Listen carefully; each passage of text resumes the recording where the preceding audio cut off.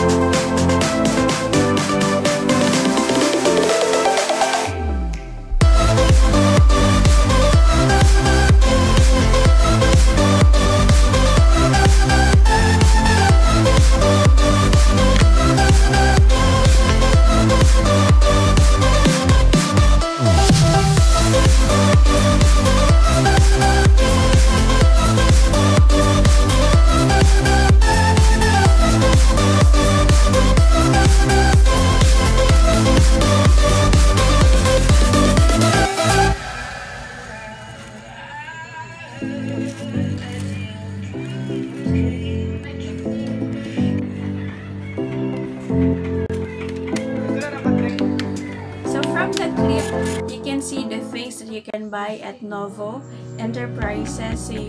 Um, it's also comparable to Izilim, yung first na video ko.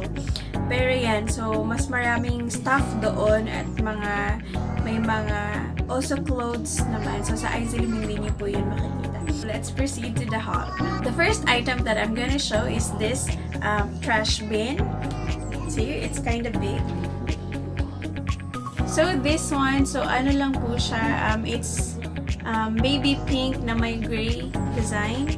And this is for 90 pesos. So, medyo malaki siya. Next item is this Spider-Man notebook. This is only for 13.50. So, ayan siya. Good for, ano, grade. Ayan, kasi tatlong, ano po siya, tatlong line here. Good for, ano po siya, preschool. Kasi tatlong lines pa lang po yung preschool ba yun or grade 1, grade 2 yun. So, this is only for 13.50. And another one, I'll make it fast. And another one po is the Spider-Man drawing book. This is for Ali and it's only 15 pesos. So, ilang sheets siya? Tingnan ko muna. Walang nakalagay. Basta drawing book po siya yon blank. Blank paper po siya. Another drawing book naman that I get for Jella. So, this is just, ayun, cute lang talaga siya. Ayun, ang maganda yung ano niya. Maganda yung niya, cute. So, kasi mahilig siyang mag, ano, mahilig siyang mag-drawing yung cousin ko. So, yun pa para sa kanya. And then, I also got an, and I also got a sharpener. Also for Ali. So, I think this is, um, 5 or 8 pesos. Nakalimot ko. So, ayan siya. Ito yung eraser. Cute. May dalawang ano po siya. Yung sa para, para sa malalaki at maliliit na pencil. Okay, so, um, five items lang yata to. So, um, for the next one, yung pens naman, these are only for 7 pesos. Yung cute kasi siya. Ayan, so, blue and black po siya.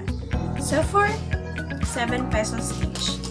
Sa mga stores na napuntahan ko, dun ko nakita yung mga mura talaga na picture frames or yung mga frames for the certificates. And yun, so sobrang dami-dami nilang frames. Tsaka yung mga ginagamit sa party, yung parang ihahang mo yung picture. So naandun, nakita ko din yun sa SM. So doon sa kanila, around 220, 250 po siya. So yun, so kaya ayun, since nabasag yung isang picture frame ko kung saan nakalagay yung aming wedding pictures ng husband ko, bumili ako ng panibagong frame. This is for only 55 pesos and the size is A4. So, ayan, nilagay ko na yung aming picture. Ayan siya. Diba? Oh, so, this is only for 55 pesos and white siya. Ayan, medyo manipis at magaan lang. So, this is very nice. So, the last item that I got is this table cover.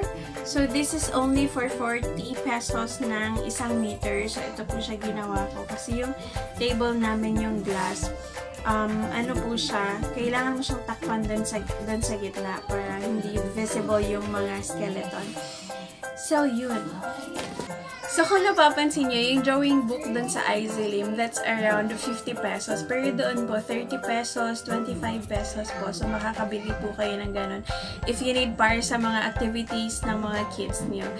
So, that's all for this video. I hope na nagka-idea po kayo kung saan po kayo makakabili ng mas murang mga bagay-bagay na kakailanganin niyo naman. So, thank you so much for watching. I'll see you on the next one.